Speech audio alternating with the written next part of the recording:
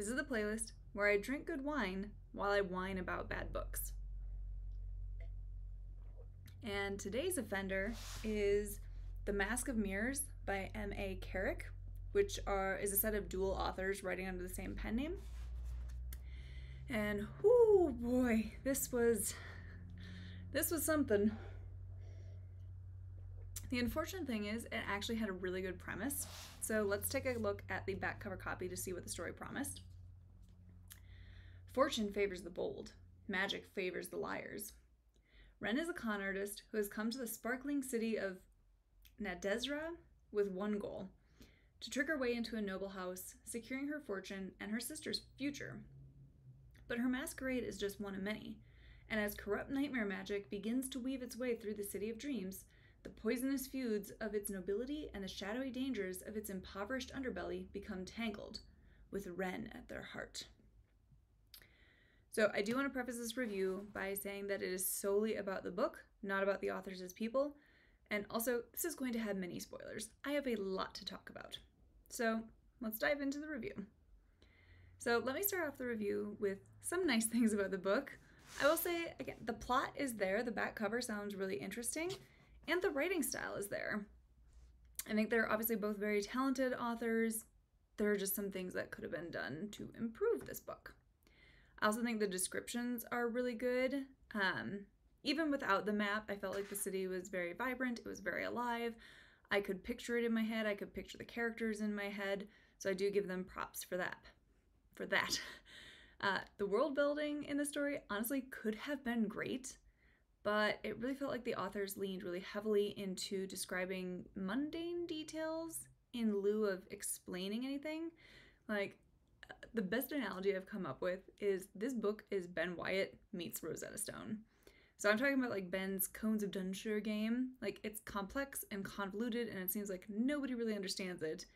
And then there's the Rosetta Stone aspect, which comes in as the book throws a bunch of words and terms at you without translating, defining, or explaining them.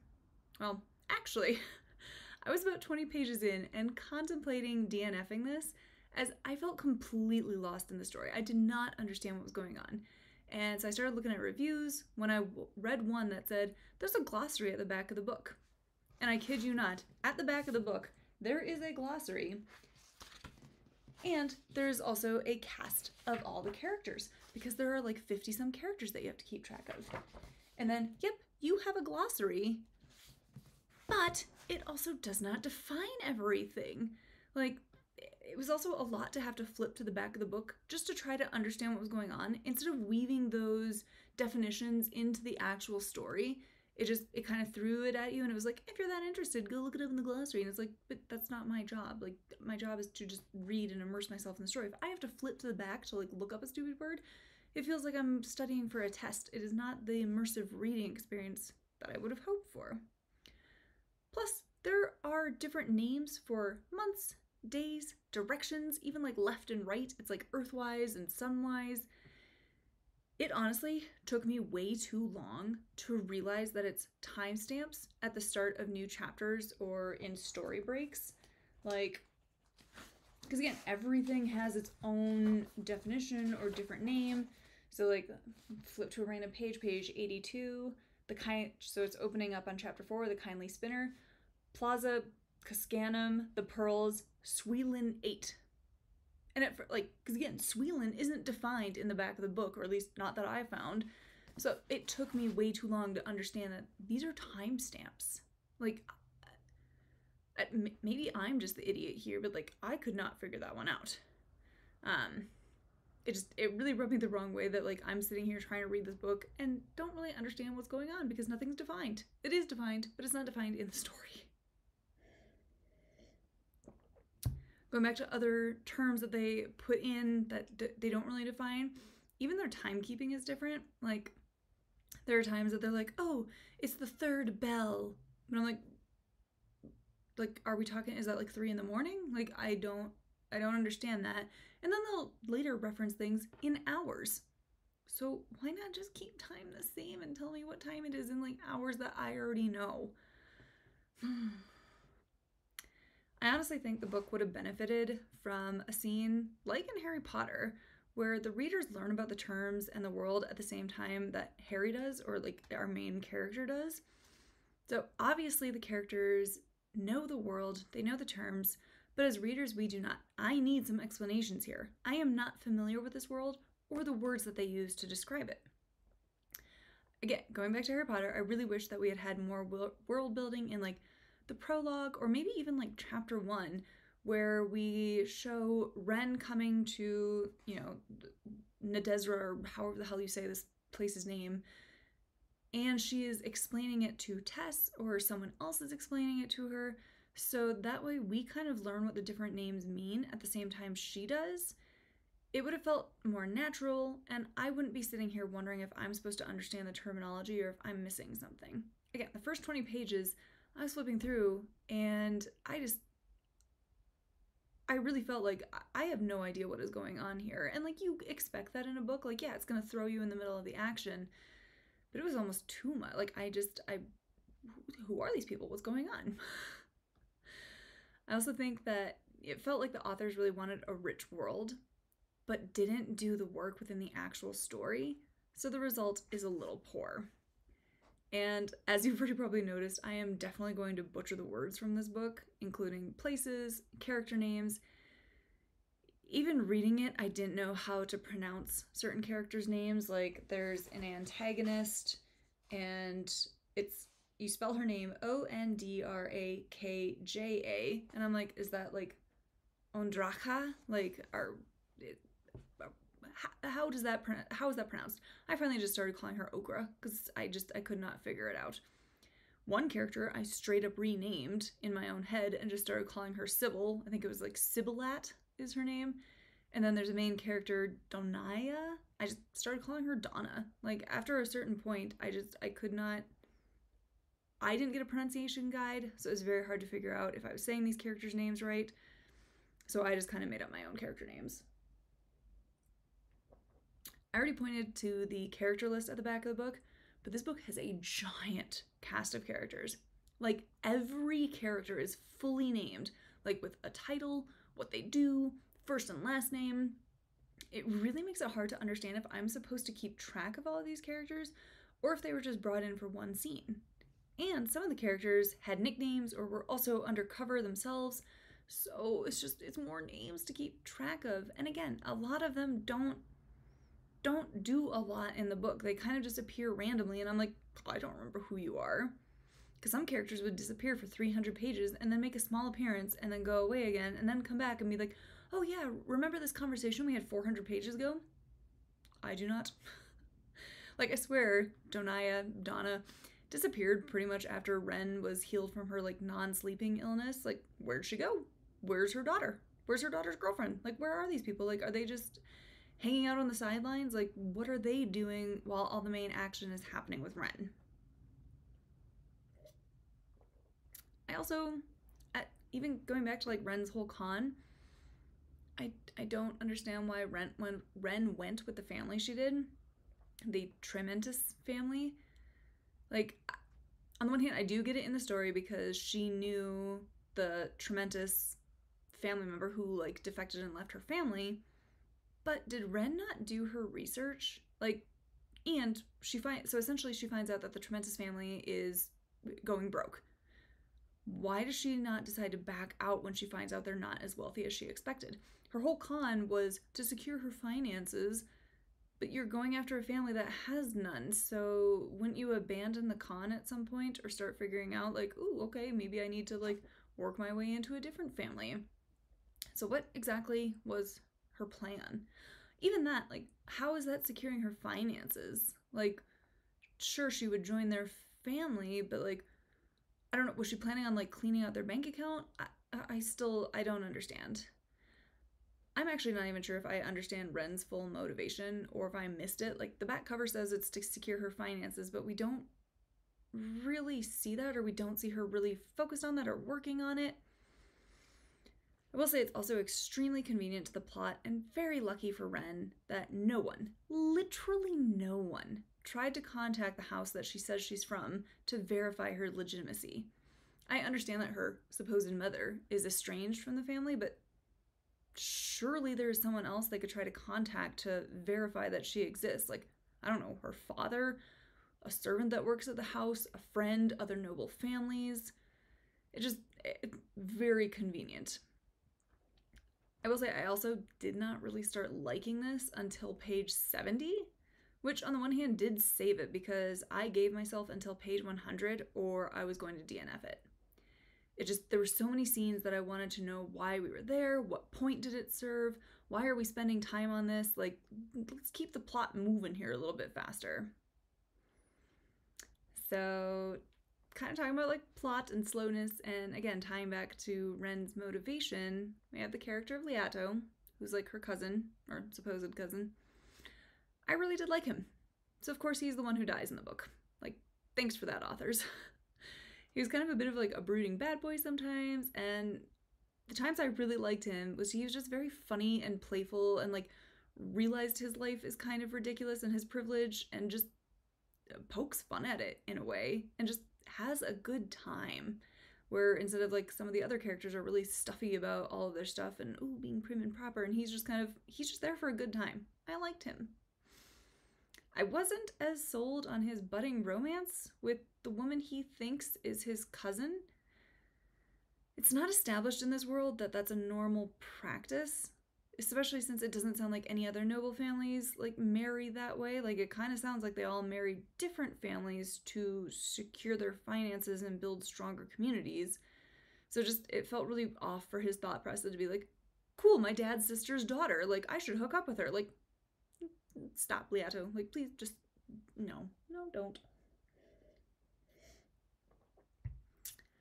I think one thing that kind of gave it away that there's two authors writing this is some of the dialect and some of the characters, the way they speak. Like, there are some characters that kind of talk like Yoda, like their words are switched around. Like, it still ends up making sense and you can understand it, but like, I, I didn't get that, especially since most, like, it's only like a few characters. So 98% of the characters speak one way, and then there's just these few that do it.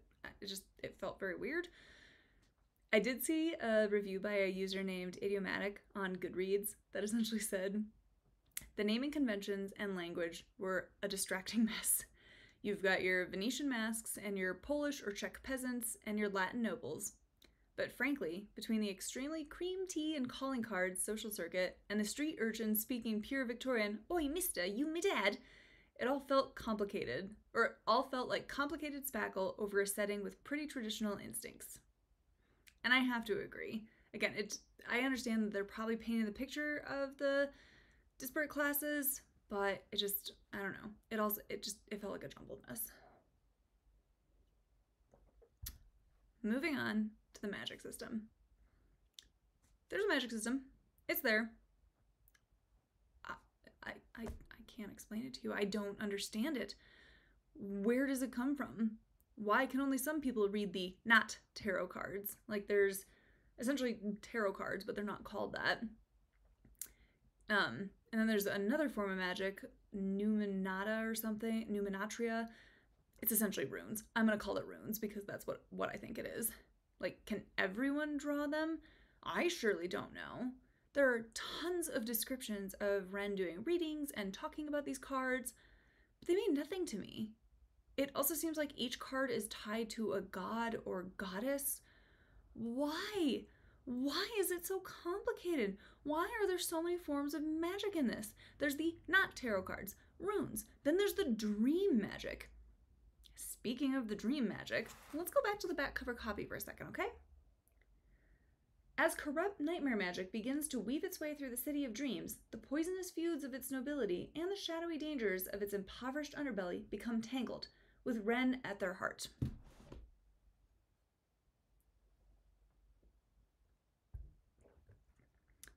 The dream magic does not happen until like halfway through the book. So the fact that that is what is selling this book and then it doesn't show up until probably like page 300 what? Like why wasn't that a stat? Like i guess okay i will give them credit. They do drop like one little hint with like the little boy who's complaining that he can't sleep but that's it. Like otherwise we do not get into the dream magic stuff and like the city of dreams and all of this stuff until way later. Like the runes and the not tarot cards get more world building around it, and then it's they just try and make them all work in the same universe. But I don't get it.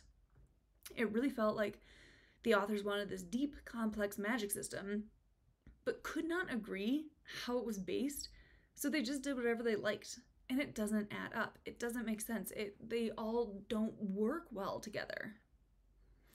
Speaking of magic, how was Okra alive? The book starts with Ren poisoning her. So essentially, Okra is like this leader of this little children gang, and to get away from it, Ren poisons her and runs away with her sister. So, how'd she survive? Like, they tried answering it with, like, later when she appears, like, she's in another, she's in the nightmare realm or something. Like, how'd she get there?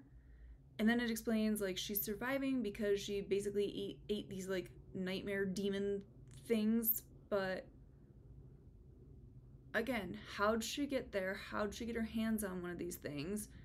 And there's a lot of them, like Zilzin, Zeislin, I don't know, uh, nightmare demons is what I'm gonna call them. She eats one of them, and that's how she explains like how she's tied to this world. But there's a lot of them. Like imagine like season two of Stranger Things, like the demo dogs. It's like that. There's so many of these little things that are like they all work together. Wouldn't they want to kill her after she ate one of their own? Like you think they would have attacked her? Like, because then later it's explained that like she's in control of them but how? Beats me. Climax of the book, I really had no idea what was going on. We're like in this dream state, so essentially they take like this potion or drink or whatever, and then they can slip into a shared dream, essentially. But it's also a nightmare, but it's also a parallel plane to our own reality because seams are starting to open up and like the nightmare is bleeding into reality. So is it a dream or is it not? Then there are like different parts of our spirit that can go stay in the dream. I just I don't I don't get it. I don't get it. There's way too much going on in this. I do not know what is happening in this book. I can't remember who everyone is. I don't understand the politics. I just don't understand how it all works. It is too much too soon for the first book in a series. I'm going to compare it to Harry Potter again. We were thrown into the world of wizards and witches, but it was explained. And it was and it like built upon itself. It got more complex the further into the world we went. Whereas this, this just kicks you into the deep end and hopes you can swim. Again, I understand wanting to create this rich fantasy realm, but there has to be something tying me to reality, or there has to be some way I can immerse myself in that world too. And just pretending that I'm an observer while these people live their lives doesn't bring me in the way that it should. Also, on kind of the magic system, or going back to the magic system, there's one of the characters, Vargo, who's like a crime boss who wants to work his way into the nobility he hears projections of someone else's thoughts in his head. Okay, cool. But how? Like, it's a misdirect because there's a character in it also that's like a Robin Hood stand in called the Rook. And I actually like the Rook. The Rook was a cool character.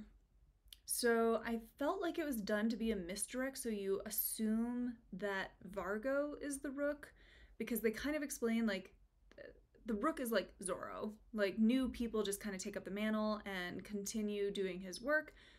But in this world, again, since there's like your spirit is broken into seven freaking parts or something, I don't know, like essentially like yeah, it's a real person, but they're possessed by the spirit of the Rook, and that's what continues it on. So I think it was just done as a misdirect to be like, oh, obviously Vargo must be him because he's hearing the spirit talk to him. And then we find out that it's not him. And so then who is this Alsius character that's projecting thoughts into Vargo's head? How can he see outside of himself? Who like do, I, I don't even know if we like figured out who it was. Maybe that's a mystery that's being saved for book 2 or 3. I don't know, but it's not explained and it's not wrapped up neatly even after we do find out the identity of the rook, which honestly, if you read it, you'll probably be able to guess who it is. It's they're not hiding it very well. moving on to other characters.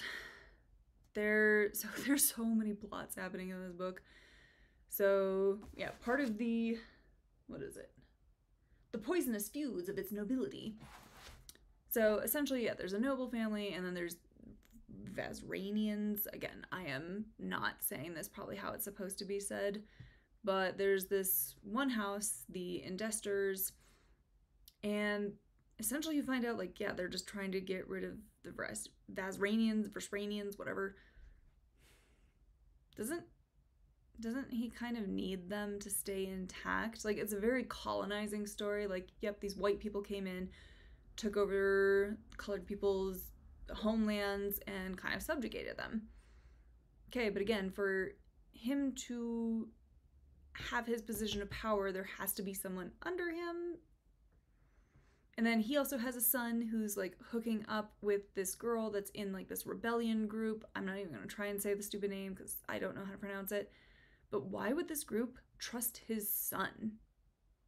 Like it just it felt very juvenile for this to be the main political intrigue in the book. Like yeah, Papa Indestor is I hate poor people. Like what? And then again, like this rebellion group, they're obviously smart. They're like using magic to disseminate their information, to get people to come together to do a protest. But sure, they're gonna trust the son of one of their enemies who basically tells them, like, I hate you, I hope you die, and you should leave this country, even though this is your country originally. And especially, like, the son's not even trying his best. Like, I could understand it a lot more if it was like he had left his family home, he was standing with them, he was speaking out, he was doing other political moves against his dad to really get people to be like, oh, yeah, maybe he is on our side. But nope, he's still attending parties, he's still living in his dad's house.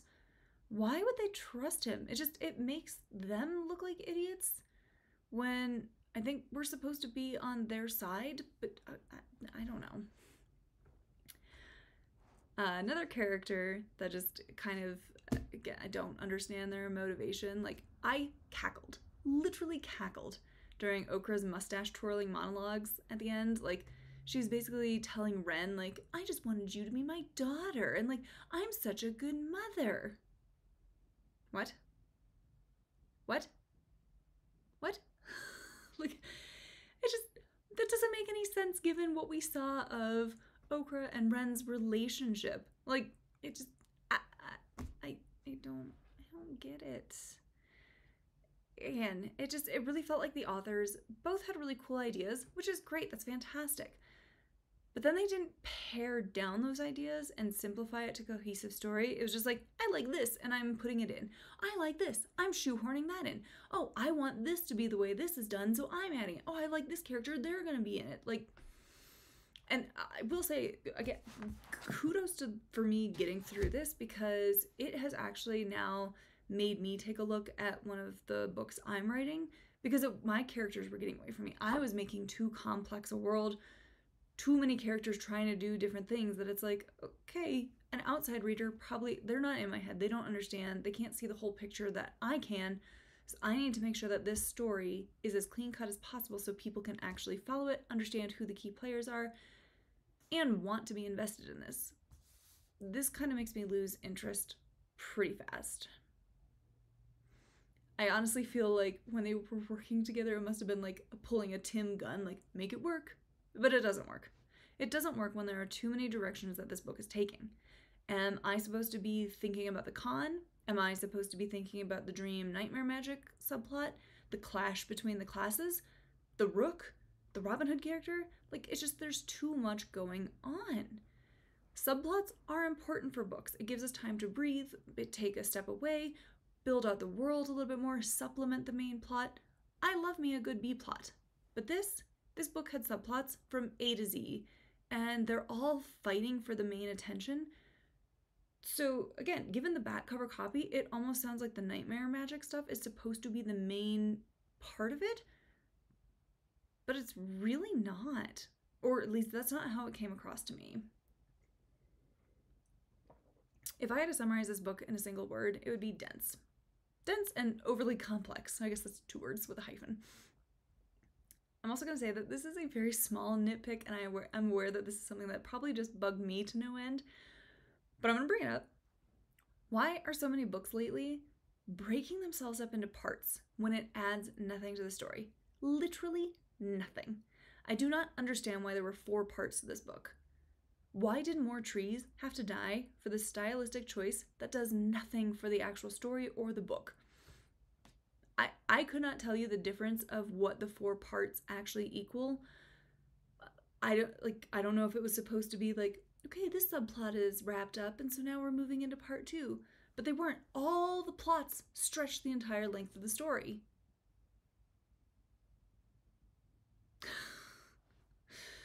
so, a few good things.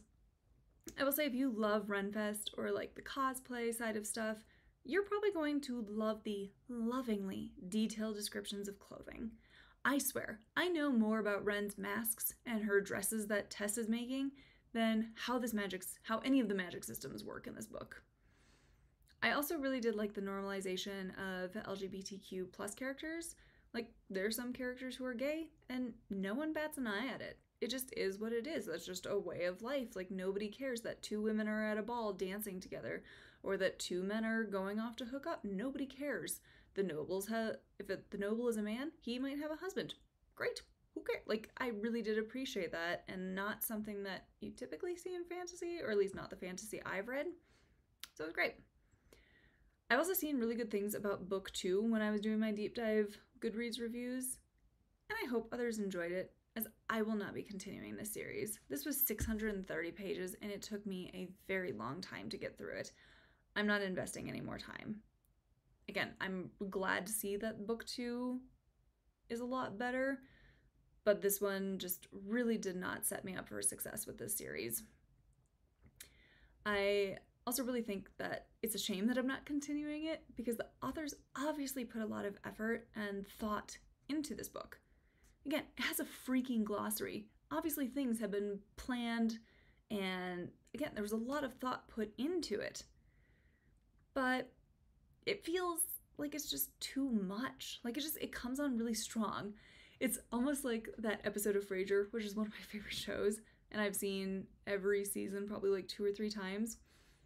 But there's an episode where Frasier is trying to woo this woman and be really romantic with her. So he sends her flowers, brings her flowers, serenades her in public, like just doing all these big romantic gestures, and it's overwhelming which is a bit funny as I do think most of the plot is slow as molasses in this book. Like you could probably cut the first 200 pages, 200. And I don't think that the story would suffer that much as a result. Like the first part of the book, we're mostly watching Ren insinuate herself in high society and have tea and go to parties. Great. But it's it's slow and dull and again, it's just with all the different plots happening, because most of that stuff is about the con. But again, I don't know if the con is supposed to be the main main plot line of the book because there's so many other plot lines vying for attention.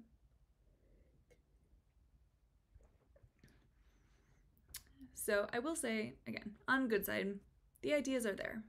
The characters are there. I just think it would have benefited from maybe being broken out even further than just a trilogy, because this is book one of three. Break it up even more. Have it be a series of five books. Like in book one, have Ren pull her con, but Indestor or whoever the hell is pulling his crap, Ren figures it out, saves them, and then win, wins favor with the Traementis family that she's conning. Book two is where Okra from her past threatens her con now, now that she's deeper into it and others are getting potentially closer to figuring out that she's not who she says she is, the first one can have the not tarot cards that help her figure out Indestor's plans. And then book two is about the rune based magic and how it seals the difference between the nightmare world and our reality. It builds and it gives us, as the readers, a little bit more breathing room.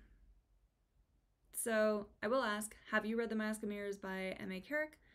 Let me know what you thought of the first book of the series by leaving a comment below. I am off to go finish the this bottle of wine and get this book out of my head. But otherwise, I'll see you next time on Whine Club.